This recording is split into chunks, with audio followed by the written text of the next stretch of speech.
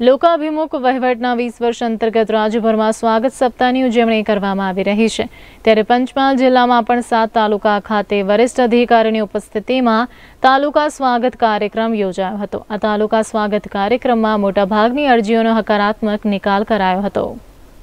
સ્વાગત સપ્તાહની જનજાગૃતિ ઉજવણી અંતર્ગત ગ્રામ્ય કક્ષા બાદ આજરોજ પંચમહાલ જિલ્લાના તમામ સાત તાલુકા ખાતે જિલ્લાના વરિષ્ઠ અધિકારીઓની ઉપસ્થિતિમાં તાલુકા કક્ષાનો સ્વાગત કાર્યક્રમ યોજાયો હતો. જેમાં જિલ્લા કલેક્ટર આશિષ કુમારના માર્ગદર્શન અને રાહબરી હેઠળ તમામ તાલુકાઓ ખાતે વિવિધ પ્રશ્નોનું નિવારણ આવે તેવા પ્રયાસો હાથ ધરાયા હતા તથા મોટાભાગના પ્રશ્નોનું હકારાત્મક નિરાકરણ લાવવા પ્રયાસો હાથ ધરાયા હતા. પંચમહાલ જિલ્લાના સાત તાલુકા અંતર્ગત ગોધરા ખાતે કલેક્ટર આશિષ કુમારની અધ્યક્ષતામાં તાલુકા સ્વાગત કાર્યક્રમ યોજાયો હતો જ્યારે કાલોલ ખાતે પોલીસ અધિક્ષક હિમાંશુ સોલંકીની અધ્યક્ષતામાં હાલોલ ખાતે જિલ્લા વિકાસ અધિકારી ડી કે બારિયાની અધ્યક્ષતામાં જાંબુગોડા ખાતે પ્રાંત અધિકારી મયુર પરમારની અધ્યક્ષતામાં શહેરા ખાતે પ્રાયોજના વહીવટદાર ડીઆર પટેલની અધ્યક્ષતામાં તથા મોરવા હડફ ખાતે પ્રાંત અધિકારીની અધ્યક્ષતામાં તાલુકા સ્વાગત કાર્યક્રમ યોજાયા હતા ચાલુ માસે પંચમહાલ જિલ્લામાં કુલ છસો ચૌદ અરજીઓ મળી હતી જેમાં અરજદારો દ્વારા મોટા ભાગની અરજીઓમાં રસ્તા પાણી દબાણો નાણાં બનાવવા